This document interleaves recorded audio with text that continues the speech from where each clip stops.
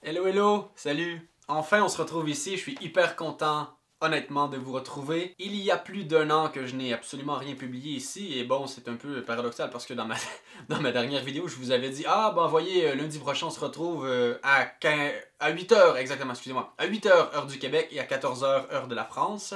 Et finalement, cela en a été tout autre et je n'ai rien publié depuis la dernière année. Mais j'ai réfléchi à ce que je voulais faire de cette chaîne et quel créneau je voulais euh, ben, en fait euh, me diriger vers cette chaîne et je suis vraiment heureux de pouvoir vous le partager aujourd'hui. Je vais quand même essayer de vous faire cela court parce que si euh, c'est un, vidéo qui ne finit plus de finir, ben forcément vous allez vous ennuyer et partir voir quelque chose d'autre ou partir faire vos obligations. S'il y a quelque chose qui au final je n'ai pas le temps de, parler dans cette vidéo. J'essaierai de, faire une autre vidéo et de, ça me ferait au moins du contenu déjà d'avance à publier pour être sûr euh, de commencer à publier régulièrement. Mais bref, tout cela pour dire, je, vous remercie de votre très très grande indulgence et de votre patience qui quand même n'a pas forcément, n'est pas sans limite. Et en même temps, j'avais envie de vous annoncer que le créneau euh, vers lequel euh, tendra ma chaîne sera surtout celui de la littérature. J'avais parlé dans mes vidéos précédentes en fait, j'en ai juste trois, lol.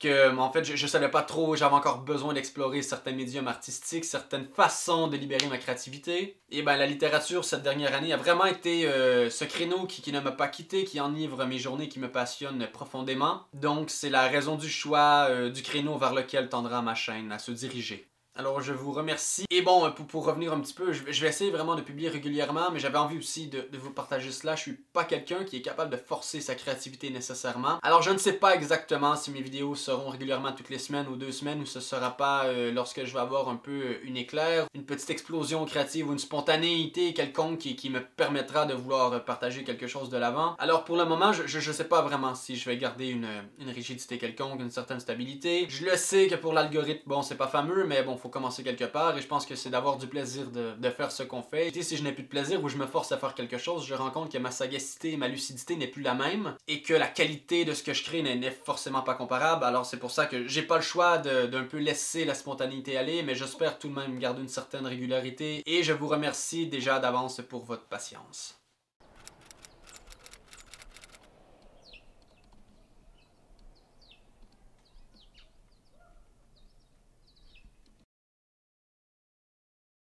Aujourd'hui, on se retrouve pour discuter d'une œuvre qui m'a vraiment plu. Cette œuvre s'intitule Une saison dans la vie d'Emmanuel de Marie-Claire Blais. Donc avant de parler de l'œuvre, une, œuvre vraiment merveilleuse, j'ai envie euh, surtout de vous parler un petit peu, bref introduction de Marie-Claire Blais. Donc Marie-Claire Blais est une, euh, une, écrivaine québécoise qui a su se tailler une place dans, dans, dans la francophonie mondiale et non pas qu'au Québec. C'est une écrivaine née en 1939 et malheureusement morte depuis peu, en novembre 2021. Et c'est ce qui a valu la même année de l'apparition de cette œuvre, le prix de Médicis à Marie-Claire Blais. Pour celles et ceux qui ne le savent pas, c'est un prix qui vise à récompenser depuis les années 50, euh, 60, euh, aux alentours des années 1960, les écrivains et les écrivaines qui n'ont pas encore forcément la notoriété de leur talent, mais qui sont des talents à devenir. Il va donc sans besoin d'en dire euh, davantage que Marie-Claire Blais était une maître des mots qui a su se tailler une place, euh, et surtout au Québec, parce que quand même, on doit se l'avouer, la littérature a toujours été malheureusement le parent pauvre au Québec, mais cela dit, c'est une femme qui s'est taillée une place, une maître des mots qu'on peut être fier ici. C'est d'ailleurs pour cela que j'avais envie de, vous la faire revivre à travers cette œuvre qui, moi, m'a vraiment chamboulé et que j'ai trouvé merveilleux. Donc, euh, une saison dans la vie d'Emmanuel commence tout simplement par la naissance d'Emmanuel et finit par au final euh, euh, euh, une scène où Emmanuel effectivement a passé son premier hiver. Et non, ne vous inquiétez pas, je ne vous ai rien divulgaché parce que forcément Emmanuel est un petit peu la continuité, le fil conducteur entre le début et la fin de l'hiver, mais forcément l'histoire ne tourne pas autour de lui, alors vous verrez bien, je vais vous l'expliquer.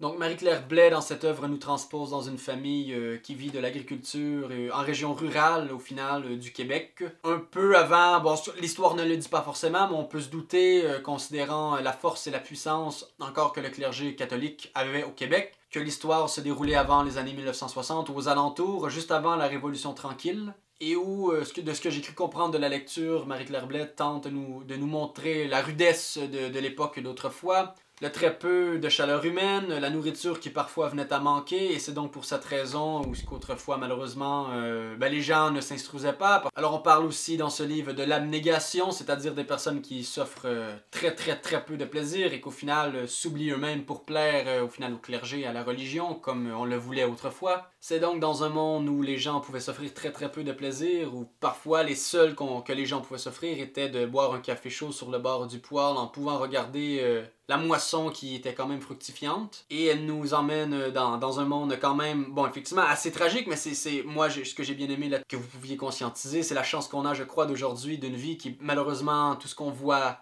aux nouvelles, à la télé, ben, je crois qu'on a quand même beaucoup plus de confort qu'autrefois. Et ça, ben, lorsqu'on se plonge dans des œuvres du passé, je crois qu'on s'en rencontre très vite. On y perçoit également, du moins, je crois y avoir perçu euh, aussi une froideur émotionnelle où les gens parlaient des émotions. C'était très très rare. Où on disait aux enfants, ah tu vois, ça fait partie, la vie comme ça, c'est dur et ça va passer. Euh, je tiens à avertir quand même, bon, certaines scènes de viol, certaines scènes d'inceste, certaines scènes d'ailleurs où ce que les enfants se font donner la fessée, ce qui était malheureusement très très courant à l'époque. Et d'ailleurs, ce qui est assez paradoxal, c'est que ça n'a jamais, ça n'a jamais insisté un enfant à se tenir plus droit, parce que quand même, bon, les enfants attendaient la fessée et continuaient leur connerie. Donc, de penser d'être très sévère et de donner euh, une pléthore de châtiments corporels à nos enfants en pensant qu'ils vont devenir plus droits, ben forcément, on voit que, en tout cas, du moins, on voit dans ce livre que ça n'a pas forcément marché. C'est ce que la psychologie tente de nous expliquer d'ailleurs aujourd'hui. On y voit aussi un monde, euh, malheureusement, de privation, et on voit la compulsion qui, bon, forcément d'ailleurs, euh, pas, pas, que pour la nourriture, mais bien qu'aussi euh, dans cette œuvre, on voit une compulsion parce que les gens ben, ont très peu de choses à manger. parfois, c'était la façon pour le curé de tenir les gens dans la misère. Les gens meurent de faim, alors on va leur donner du pain, ils vont nous rester fidèles. Il y avait aussi les sucreries que, bon, les grands-mères et, monsieur le curé aimaient bien partager, puisque c'était complètement un luxe pour autrefois. Et on voit même la privation sexuelle qui emmène parfois certaines déviances, certains comportements assez, euh, mon Dieu, qu'aujourd'hui ça ne passerait plus du tout. Et on voit l'ennui, la mornitude, le froid, la, froideur humaine, c'est un monde exempt de chaleur humaine, où bon, forcément les frères et sœurs parfois pouvaient s'amuser entre eux, mais quand même on voyait euh, le travail qui était très très dangereux dans les manufactures et tout cela.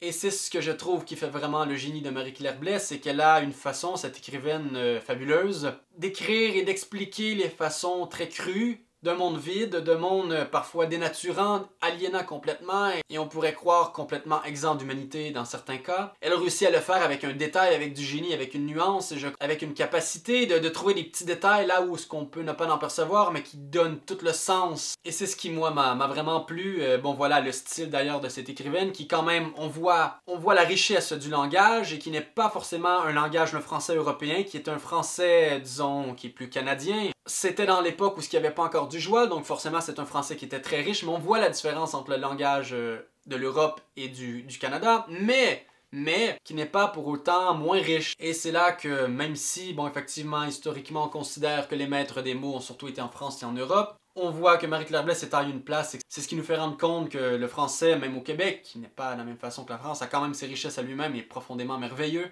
Et je crois que cette œuvre a la, capacité de nous redonner un optimisme, certes, qui est peut-être tragique et réaliste, qui n'a rien à voir avec la bien-pensance et l'ignorance, mais qui nous fait quand même voir que tout n'est pas perdu et que, que je crois qu'on a encore beaucoup plus de moyens aujourd'hui de décider de notre sort. Et donc, on peut percevoir euh, la, la, plus grande liberté qu'on a quand même, malgré tout ce qu'on dit aujourd'hui, de pouvoir poser des gestes et pour sociétalement se développer et vouloir grandir ensemble en tant que société. Beaucoup plus de marge de manœuvre de ce qu'on peut faire quand même. Et c'est pour ça que, introspectivement, je crois que c'est un œuvre qui nous rappelle d'où ce qu'on vient pour nous permettre de se situer dans le moment présent et vouloir s'orienter où ce qu'on veut aller. Mais somme toute, je crois que de comprendre le passé, de voir la rudesse qui est quand même très très réelle, tragique mais certes réelle, peut nous permettre de, de peut-être une touche de baume dans notre vie d'aujourd'hui qui est quand même plus belle qu'autrefois. Malgré aujourd'hui avec ce conflit en Ukraine, avec le terrorisme présentement qu'on voit en Afrique, avec malheureusement la criminalité en Amérique latine, en Asie, un monde qui n'est pas toujours parfait, ben si ça peut nous redonner quand même espoir que le monde depuis 70 euh, ans, depuis 100 ans va constamment mieux, bon, au moins ça sera ça et je pense que quand même tout, tout n'est pas perdu et que vraiment, surtout qu'on ait la chance de lire,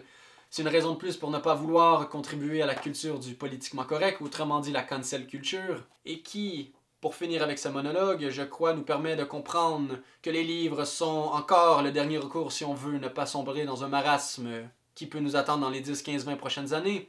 Alors vivement la littérature et vivement comprendre le passé, vivement les lettres, et c'est pour ça que je crois que cette chaîne sera teintée de la littérature. Parce que les livres sont une puissance destructive comme une puissance très reconstructive. Et si nous sommes capables, de point de vue réaliste, d'avoir un optimisme tragique, certes, je crois que les livres ont la potentialité de nous permettre de se guider vers où on veut aller en tant que société. Et bien voilà, ce livre de Marie-Claire Blais, je crois, peut nous permettre de nous compter chanceux, malgré qu'il fait très froid en fin de semaine au moment où je tourne.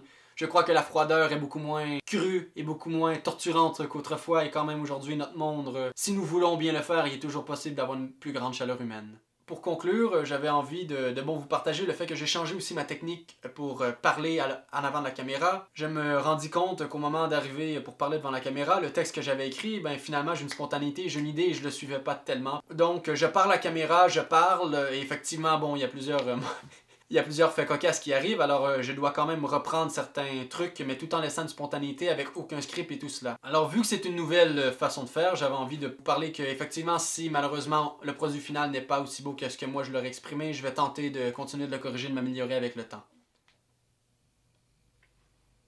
Une saison dans la vie d'Emmanuel de Marie-Claire Blais. Partagez-moi si c'était sur votre liste, si vous l'avez lu, l'avez-vous aimé ou au contraire euh, avez-vous trouvé que c'est un livre qui ne vous a pas plu? Partagez-moi ce que vous pensez en commentaire et dites-moi si vous comptez le lire et quoi que ce soit, euh, je serais bien bien curieux d'échanger avec vous. Il est alors grand temps de se laisser. Pour moi, c'est tout pour aujourd'hui. Je crois que j'ai quand même euh, beaucoup parlé. Je ne sais pas trop ce que ça va donner après le montage final. On se verra très certainement dans une prochaine vidéo. Je ne sais pas exactement lorsque celui-ci sortira, mais quand même, au moins, euh, je vous tiendrai au courant. Vous pouvez toujours me suivre sur mon Instagram qui euh, paraîtra dans quelques instants à l'écran pour rester à l'affût lorsque les, prochaines vidéos sortiront. Et ben sinon, sur cette note de sagesse, continuons de cultiver cet amour pour les lettres, pour la littérature et plus précisément la nôtre, cette francophonie mondiale qui est merveilleuse et qui n'a rien à voir d'une langue poussiéreuse. Je vous souhaite que de bonnes lectures et à bientôt.